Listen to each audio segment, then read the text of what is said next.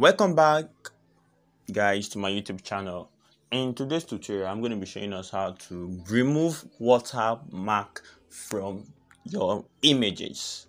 Let's say you want to design something and then you you you find out that the graphic design resources that you want to download have a watermark so in this video i'll be showing us how to remove watermark from your images from your graphic design stocks. And please make sure you subscribe to my youtube channel turn on the notification bell icon so that when we upload a new video you'll be updated. So stick with me. I'll be using the chrome browser. This is my chrome browser.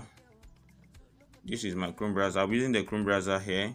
So i'll quickly tap on the chrome browser. So the website we're going to be using to remove the watermark is watermarkremover.io watermarkremover.io so i'll quickly type in the name of the website water watermark sorry watermark remover.io so this is the name of the website.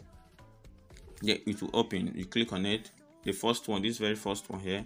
So this is the website. So i will proceed to you see very well we have um we have something here upload image. You're going to upload the image. So you click on the upload image. You wait for it to open. So this is the picture that we're going to be using this image here. So that has a watermark. This one has a watermark here. You can see the watermark here. So i'll click on the the picture. So i'll click on done. Then i'll wait for it to open. So the website will be loading. So you can see. So this is the this this this is the watermarked uh, image that we uploaded. And this is the result that we've gotten from the image. So you can see this this this very one is watermarked. And this one is not watermarked. You see there is no watermark in this very one so therefore we've achieved the aim of this video. So this is how you can actually remove watermark from your images.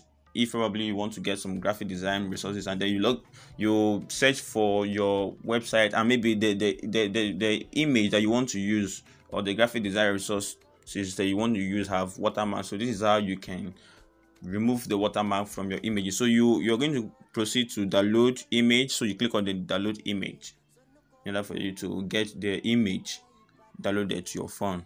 So already now we've downloaded the image. So you click on open. Let's open. And then you can see the watermark that was here before is no longer here. So the watermark is no longer here. So this is just how to this is just how to remove watermark from your from your images or from your graphic design stock. You can see now there's no watermark here again so these are to just go about it. So thank you for watching this video and make sure you subscribe to our youtube channel and turn on the notification bell icon